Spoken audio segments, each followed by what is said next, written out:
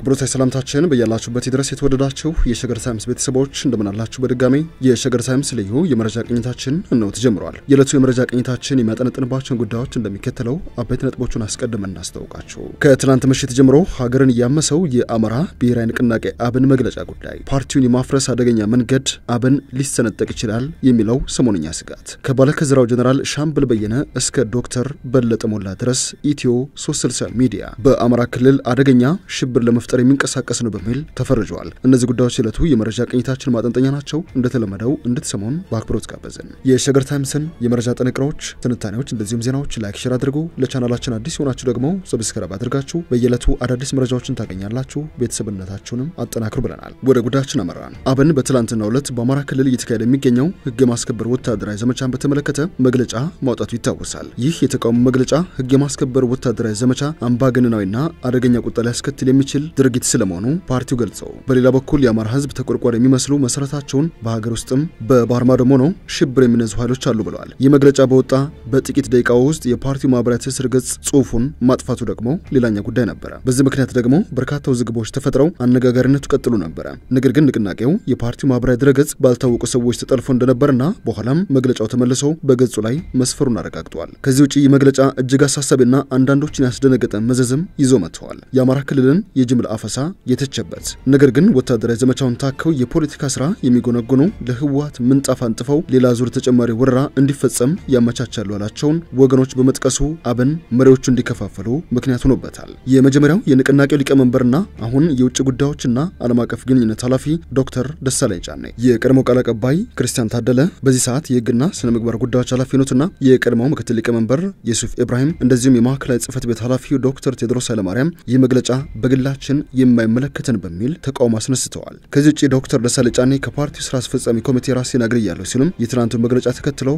እንግዳ ውሳኔ መወሰናቸውን አስታውቀዋል። ዶክተር ደሳለኝ ጫኔ በማህበራዊ ትስስር ገጻቸው ላይ ትናንት ማምሻውን ባሰፈሩት መልእክት አብን ባለፈው የካቲት አካሂዶት የነበረው ጊዜያዊ የአስፈጻሚ ሪፎርም ላይ ንቅናቄው በቀጣይ ሶስት ወር ውስጥ የሚያካሄደው ሪፎርም ተከናውኖ አዳዲስ አመራሮች እስኪመረጡ ድረስ ከሁለት እስከ ሶስት ወር ላልበለጠ ጊዜ ወደ ስራ አስፈጻሚ እንዲመለሱ የአብን ማዕከላዊ ኮሚቴ ወስኖ እንደነበር አስታውሰዋል። በዚህ ምክንያት ወደ አመራርነት የመመለስ ፍላጎት ባይኖረኝም የድርጅቴ ውሳኔ ስለነበር ውሳኔውን ተቀብዬ ቆይቻለሁ ባይ ናቸው። ነገር ግን ለአጭር ጊዜ ብዬ የተመለስኩበት ጊዜ ስለተጠናቀቀ እንደዚሁም ወደፊት ጊዜው ሲደርስ በምገልጻቸው ምክንያቶች ካለፈው ሳምንት ጀምሮ ከአብን ስራ አስፈጻሚ አባልነቴ በፈቃዴ የለቀኩ ሲሆን በማዕከላዊ ኮሚቴ አባልነት ግን የአብን ሪፎርም በስኬት እንዲጠናቀቅ የሚቀጥል ይሆናል ሲሉ ነው የገለጹት። እናም ከቃላት ሽኩቻ በዘለለ የትላንቱ መግለጫ አብን እንደ ፖለቲካ ድርጅት የመፍረስ አሊያም የመፈረካከስ አደጋ እንዲጋረጥበት ምክንያት ሆኗል በሚል በሰፊው እየተራገበ ይገኛል። የአማራ ህዝብ የፖለቲካ ገበያ ሆኗል የሚሉት አስተያየት ሰጪዎቹ በህዝቡ ላይ እጁን የሚያስገባ በርካታ የፖለቲካ ነጋዴ በመፈጠሩ ምክንያት በአማራ ብልጽግና የሚሆን በተቃዋሚ የፖለቲካ ፓርቲ የሚሰለፉ የፖለቲካ ተቋማቶች ሳይቀር ባለፉት ሶስት ወራት እየፈራረሱ እየተፈረካከሱ ይገኛል ሲሉ ሀሳባቸውን እየሰነዘሩ ነው። ለዚህ ደግሞ ከብልጽግና ፓርቲ የተገለሉ አንጋፋ የፖለቲካ ሰዎችን ከዚህ ባለፈም የፖለቲካ ዱላ ቅብብሎሽን ይረከባል በሚል በስፋት ሲነገርለት የነበረው አብን ደግሞ በጎጥ አሊያም በፖለቲካ አሰላለፍ እየተከፋፈለ ስለመምጣቱ ማሳያ እንደሆነ መጠቀስ ጀምረዋል። በፓርቲው መሪዎች መካከል ሽንቁር የከተተው ወደ ገዢው ፓርቲ ያዘነበለ መግለጫ ወጥቷል የሚል እንደሆነም በርካቶች ተስማምተውበታል። በንቅናቄው መግለጫ ከተነሱ አንኳር ነጥቦች መካከል ኢትዮጵያ ከጦርነት ማግስት በተፈጠሩ ዥንብሮች ውስጥ ባለችበት ሰዓት ገዢው ፓርቲ በተለያዩ የኢትዮጵያ አካባቢዎችና ክልሎች የህግ ማስከበር ዘመቻ ላይ እንደሆነም ከጠቀሰ በኋላ በአማራ ክልል እየተካሄደ ያለውን የህግ ማስከበር ወታደራዊ ዘመቻ በተመለከተ የሰጠው ሚዛናዊ የአቋም መግለጫ አንዱ ነው። በአማራ ክልል ህዝቡን ማህበራዊ እረፍት የነሱ የአካባቢውን ሰላም፣ ጸጥታ፣ ንግድ፣ ኢንቨስትመንትና ማህበራዊ መስተጋበር እየተፈታተኑ የሚገኙ ውንብድናዎች እንደተፈጠሩ ገልጸዋል። የአብን መግለጫ ሲቀጥልም በመንግስት መዋቅር ውስጥ ካለው ብልሹ አሰራርና አቅም ማጣት ጋር ተዳምሮ ክልሉን ለከፍተኛ የጸጥታ ስጋት ተጋላጭ አድርጎታል። ለዚህ ያለመረጋጋትና የጸጥታ መደፍረስ በርካታ ምክንያቶች መጥቀስ ቢቻልም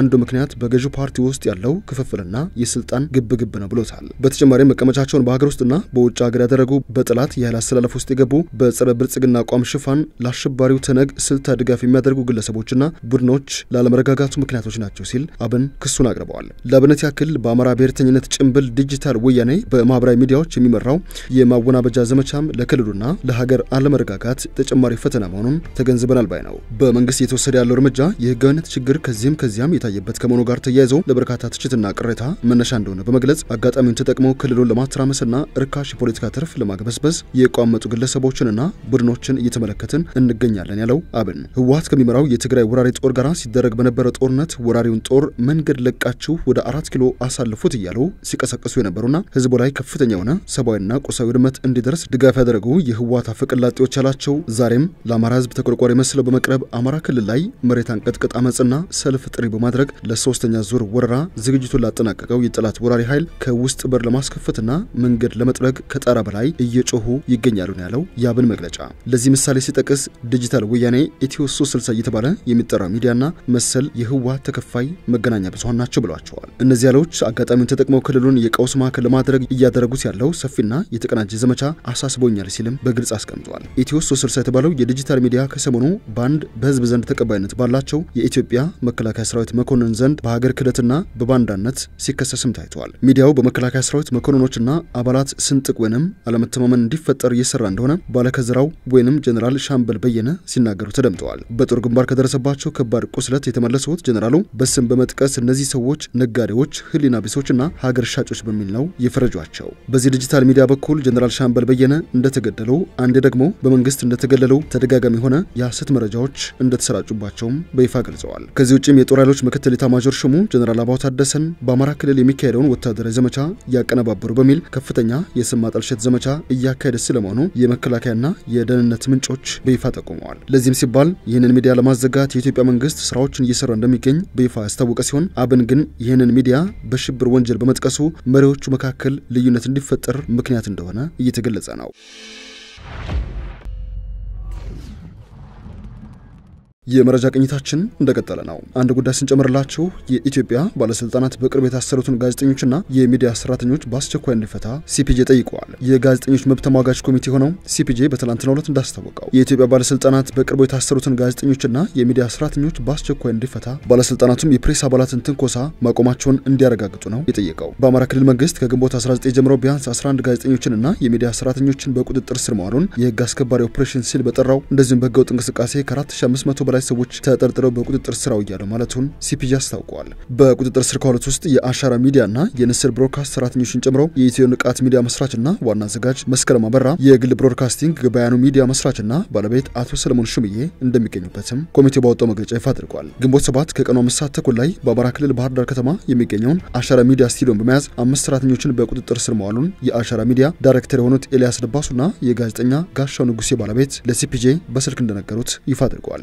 በጥቃቱ ወቅት ፖሊስ ማዘዣ ለማሳየቱንና ላፕቶፖችና ሌሎች ንብረቶችን ጨምሮ የቢሮ ቁሳቁሶችን መውሰዱን የኮሚቴው ሪፖርት ያሳያል። የታሰሩት ጋዜጠኞች ከቤተሰብ ወይንም ከጠበቃዎች ጋር ሳይገናኙ 185 ኪሎ ሜትር ርቀት ላይ በሰሜን ንፋስ ስልክ መውጫ ትንሽዬ ከተማ ወደሚገኝ እስር ቤት እንደተዛወሩም ነው የተነገረው። በቅርቡ ቢያንስ 11 ጋዜጠኞችና የሚዲያ ሰራተኞች መታሰራቸው አሁንም የሚያሳየው መንግስት ለፕሬስ ነጻነትና የዜጎችን መረጃ የማግኘት መብት የሚከለክል መሆኑን የሚያሳይ መሆኑን በመጠቆም ባለስልጣናት ሁሉንም ያለምንም ክስ በአስቸኳይ እንዲፈቱ የኢትዮጵያ ጋዜጠኞች የዘፈቀደ ስርዓት ጭቆናና ሳንሱር ሳይፈሩ ሪፖርት እንዲያደርጉ ማረጋገጥ አለባቸው። የሲፒጄ የአፍሪካ ፕሮግራም አስተባባሪ አንጀላ ባወጡት የተቃውሞ መግለጫ ላይ የተወደዳችሁ የሸገር ታይምስ ቤተሰቦች ዕለታዊ የመረጃ ቅኝታችን የሰማችሁትን ይመስላል። ስላደመጣችሁን አመሰገንን። በያላችሁበት ሰናይ ጊዜ